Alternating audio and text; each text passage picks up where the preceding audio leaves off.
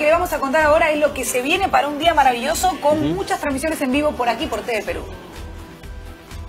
Un día más de competencia en los Juegos Panamericanos en Lima 2019 seguramente nos hará vibrar de inicio a fin.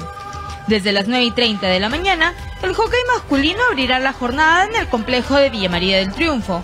Media hora después, en la Videna, se llevará a cabo la segunda fecha de la lucha grecorromana. Además, se jugará una fecha más del básquet femenino en el Coliseo Eduardo Divos. A las 11 de la mañana continúa la competencia de natación.